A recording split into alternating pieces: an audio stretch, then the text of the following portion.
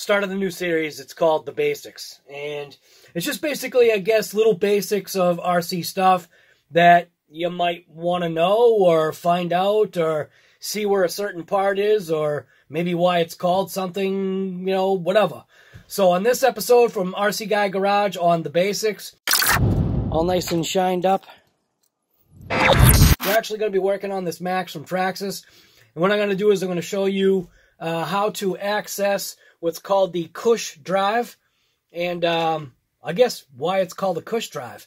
It's technically a spur gear, but if you separate that word kind of like Cush from cushion, I'll show you exactly what I'm talking about. Never mind me talking. So let's just um, pop the top off and see what it takes to get that Cush drive out. If you own a Maxx, you already know obviously how to take off the top, so it's not like I'm telling you, showing you anything different. But um, as far as accessing the Cush drive, in reality, the only thing you really need to do, and this is also a part of, I guess, the cleaning maintenance that needs to happen with these things, and I'd recommend getting some kind of a um, a vacuum with a small fitting or whatever that can actually get in and vacuum like out these sections right here because with these Maxxes, there's a lot of grit that I'm finding it gets into it. And I feel like it's just because of the way the thing is designed, there's too many open areas. Like there's a large gapped open area that's actually right here. It's in between this um, pinion cover, which is this is the pinion cover, and this is technically the spur gear, or if you want to call it the cush drive uh, portion of this vehicle. That's where that is. So in order to take these two pieces off, to take the pinion cover off, it's uh, just two screws, one right there and one right there. And that consists of, I think it's a uh, 2.5 millimeter. Yeah, so 2.5 millimeter. And that will take out these two screws right here. So you got one right here. You got another one right here. And you can hear the grit. We did clean this out already. And then I just take the driver and just kind of pop the cover up and just pull the cover out. And obviously then that exposes, you can see that exposes the actual pinion itself. Then in order, in order to get this cover off right here, you just kind of like, same thing, two screws, one right there.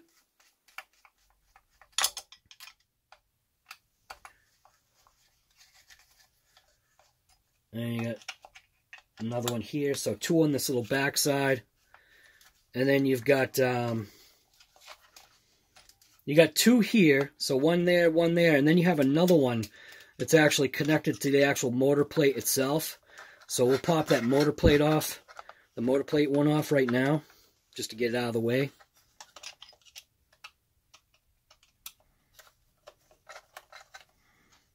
It's like that. Don't lose your screws. And then the two forward ones, this one right here.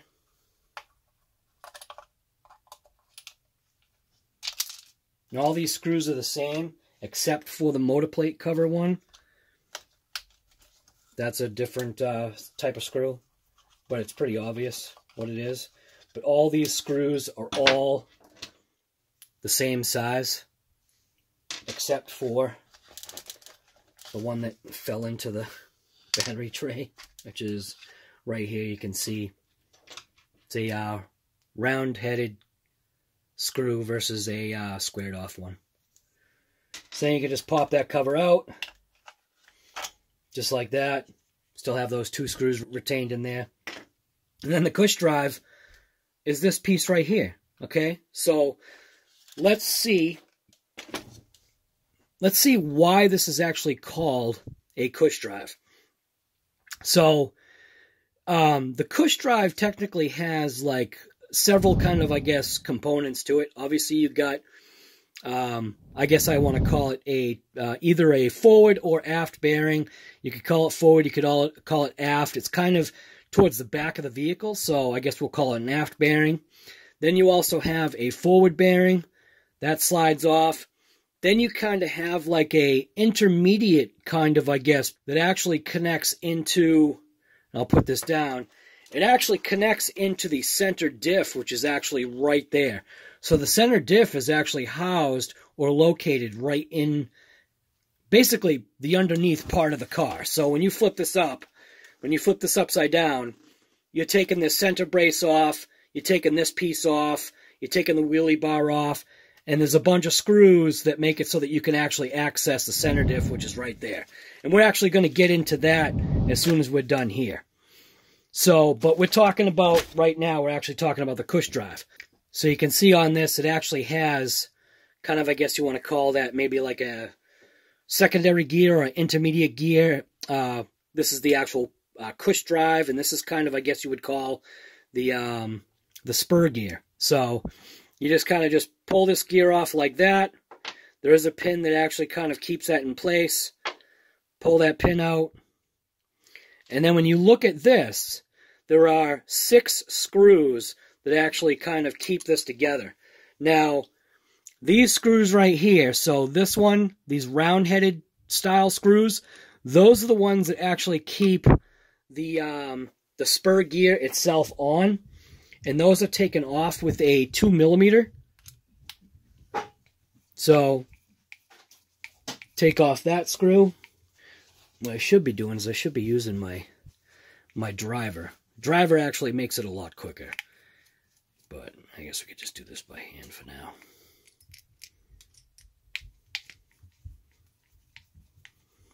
And taking these th three screws out, what this will do is this will basically, this will re release that um, spur gear. So if you ever needed to replace the spur gear, if you stripped it out or whatever, that's how you do it. Because it's obviously like some type of a plastic nylon or whatever. And it has those uh, round-headed round-headed cap screws. If it'll focus on it. Any day now. Okay, never mind. Whatever. Round-headed cap screw.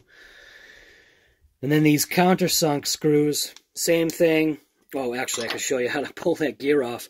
So now that that's separated, um, you can see how it slides off. You're basically just pushing the actual cush section of the drive out. And then it's obvious how it goes back together because it has an inset. Obviously, if you try to put it on this way, it's not going to go. And You know how to put this thing back together. So we'll take that off. And then now we're actually going to open up technically the cush or cushion part of this uh, cush drive. So again, three screws. These are those tapered head screws. There's three of them. And it's still a, uh, what did I say, a two? Two millimeter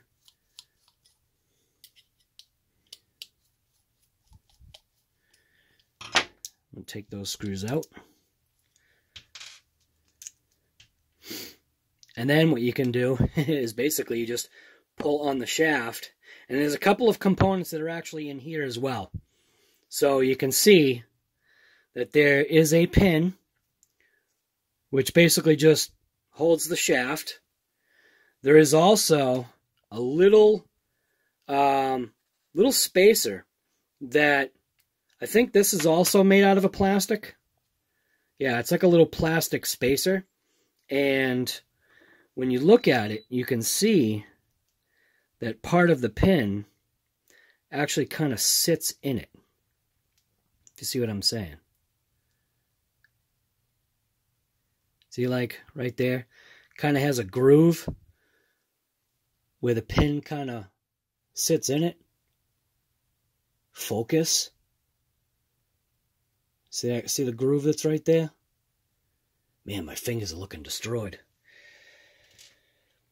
So the reason why this is called a cush drive, right, is technically because of this little piece right here, which is basically like a uh, some type of either a rubber or an elastomer or whatever. And we'll throw this pin back in here.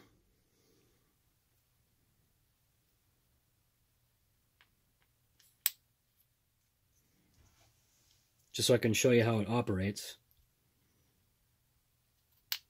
All right. So see what happens is without that piece of rubber, both forward and backward, the way this operates is it actually you know, it, it this piece of rubber, this piece this piece of rubber, what it actually does is it actually cushions both the forward and uh, reverse drive.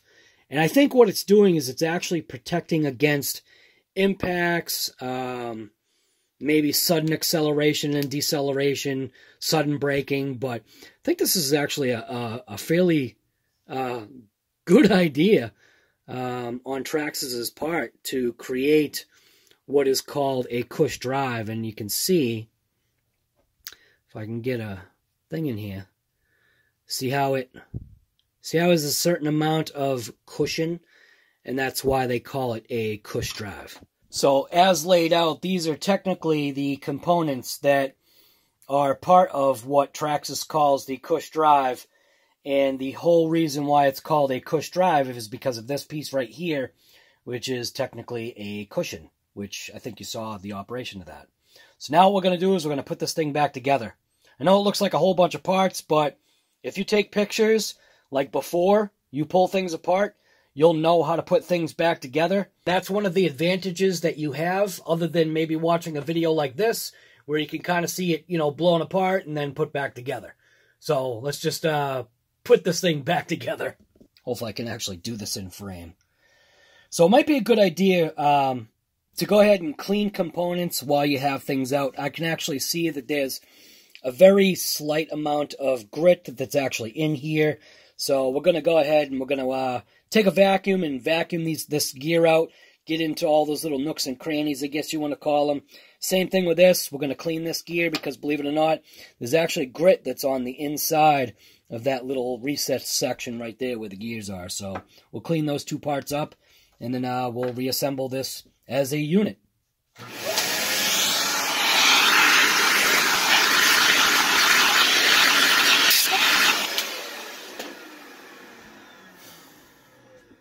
All right, so to reassemble this unit, it's actually uh, pretty easy. Um, it's basically just, you know, taking things and putting it back together the way it came apart. So we're going to go ahead and do this right here. So you can see how that little section where the pin actually um, lays back in. We'll set that piece into there. And we'll take the shaft we're going to stick the shaft all the way through so that we can actually put a pin right into that hole right there. Just like that.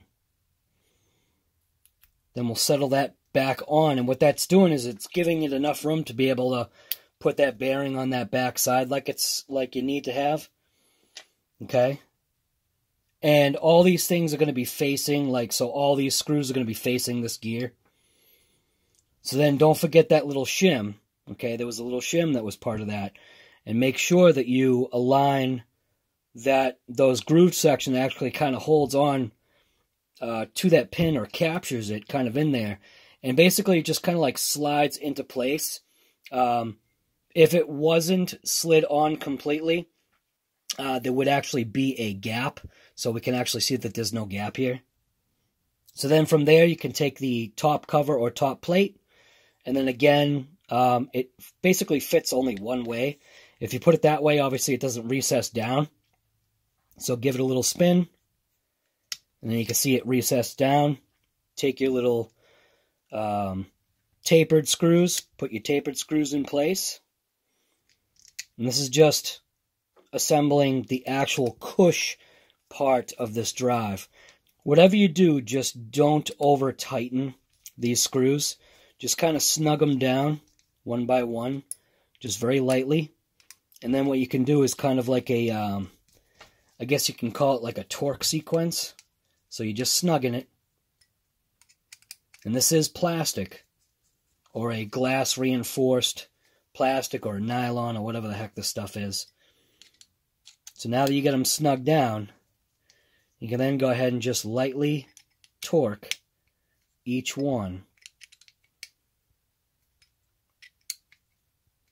Just go around a couple times. Take your time.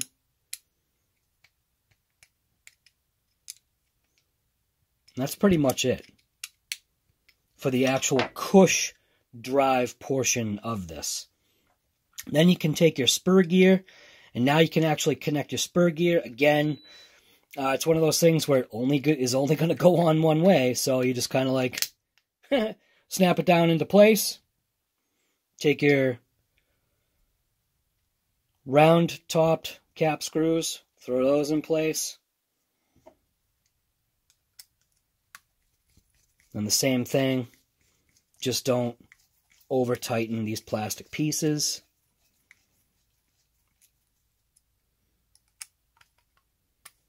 If you have a driver, uh, go ahead and use a driver, but if you're not familiar with how the driver works, um, you might want to do stuff like this by hand, especially when you're dealing with plastics.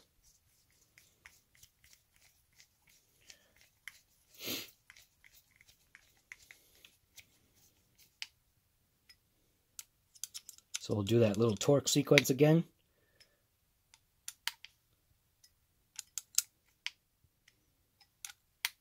Now each one is sufficiently torqued down and that's how it should look.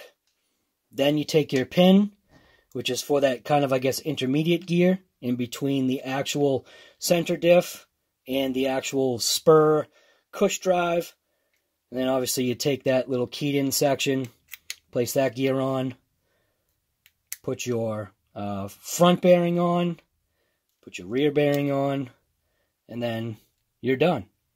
So that is basically, I guess, how to uh, deconstruct or take apart your cush drive. I don't really see that there would ever be a need to pull that apart other than maybe if it wore out over time, which will probably take a considerable amount of time to potentially wear out the actual cush part of that drive. Uh, we're not talking about, you know, the actual spur gear part. It's nice that that actually is a replaceable part.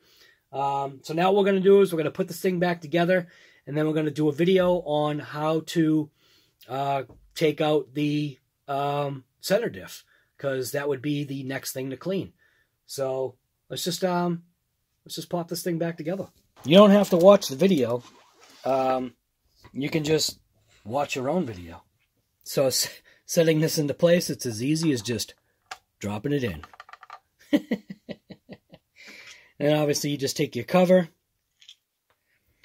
Try to clean everything as you go. Take your little um, spur gear cover, drop that into place. You got your rear screws. Again, all these screws are the same except for the one that actually attaches to the motor plate. Uh, the motor plate to this actual cover itself. So you got the two screws in the back, two screws in the front. So you've got a total of five screws that you take out to, um, I guess, service and or clean this portion right here. Then we've got our screw that goes in this way. It goes through the motor plate into the plastic um, cush drive slash pinion housing. And again, it's not using Arnold Schwarzenegger strength here. And I'm still thinking that this is the area right here that is causing the issue with all the grit that's getting in there because when you see how this cover is designed, it's just, it leaves, it leaves a massive, I feel, open gap right here that just allows material to kind of get in there. That's the only thing I can think of other than maybe just the fact that it's, you know, tolerances. You know, there's a gap here. It's, it's, some of the grit that gets in there is just so minute, but it builds up. And I think that's the problem that we have with this. So, Put that piece on. This is uh, what's called the pinion cover. Again, no Arnold Schwarzenegger strength. Let's lock it down. Nice and easy. And that's it. And you're done. this is part of that uh, new series from RC Guy Garage, and basically all it is is it's it's basically called the basics. It's I'm going to be going through different various vehicles. We're going to take things apart. Going to show you what's what. Um, maybe you might come across one of these videos and be like, hey, you know, I was wondering what that was. So if this helps somebody out there, hopefully it does. That's awesome. Uh, go ahead and give me a thumbs up. Share the video if you want. Uh, the biggest thing is obviously subscribe to the channel. Channel's been taking off like a rocket, and I am like floored by it. I think I'm actually, I think I'm literally at 1,800 subscribers right now. So, anyways, thanks for watching this episode from RC Guy Garage. Getting back to the basics. Thanks for watching.